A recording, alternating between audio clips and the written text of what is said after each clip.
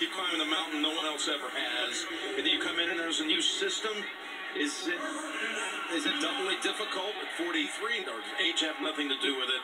What gives? Well, it's a great question. What, the first thing that happens is your brain tells you, well, there's easier things in this. But you're also, you know, your boss, Bruce Arians, he's had a success, successful system. I mean, the quarterbacks who throw those interceptions came back better in the second year, but they didn't have an offseason either.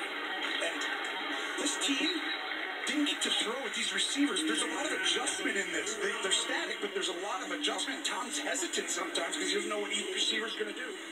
was Godwin for about eight. I think the operative word around here this week was continuity. That's the one you kept hearing about. And that kind of took into account what you're talking about. No offseason, no reps, no preseason, no chance to kind of understand each other, understand how it works. And that's what we're seeing as a result at times. Exactly right. Second and two. They pick up the first down.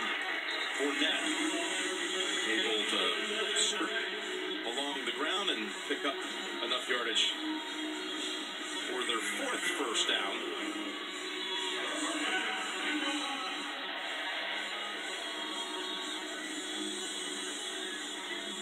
people say, look at the weapons now. You get Gronkowski to come over, you get Antonio Brown to sign.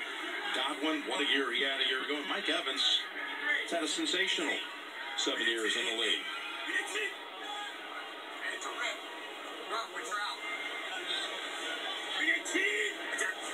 First and ten.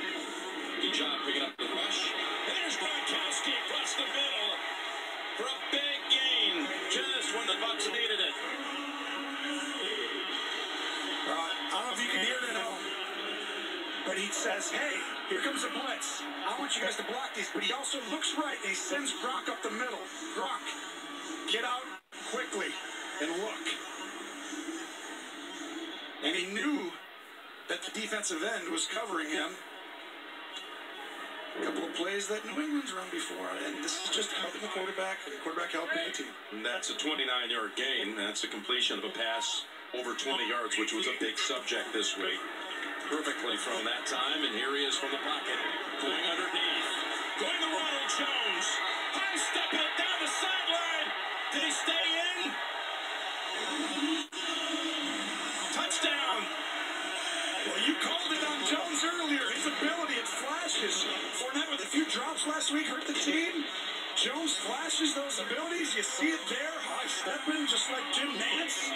First got CBS. Watch this play. Let's see if he's in, though. Play action. Time for Brady.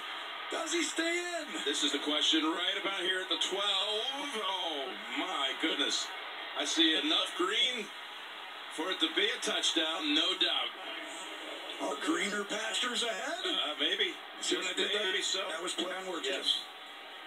Wow, that's an incredible play by Jones. That jump starts this Tampa Bay needed that. 37-yard touchdown finishing off an 86-yard drive after the fumble. This so easily could have been 24 zip, and instead the extra point coming from Succop. And it makes it a 10-point game. Big turnaround. Ronald Jones, he had a drop early last week. Not this time.